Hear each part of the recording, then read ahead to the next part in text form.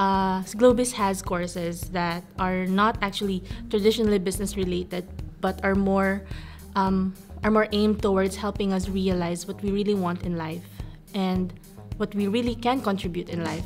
It's it's very existential to me actually, and it's not something that I would expect from a business school.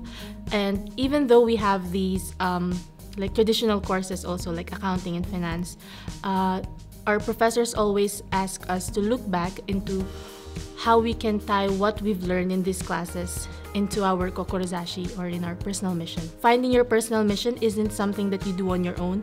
It's uh, it's brought about by different perspectives from different people around you. And with a very diverse class that I have, diverse in culture and in experiences, I feel like uh, I'm able to see the world in a bigger, in a bigger, in a larger sense. And this helps me to develop my kokorozashi.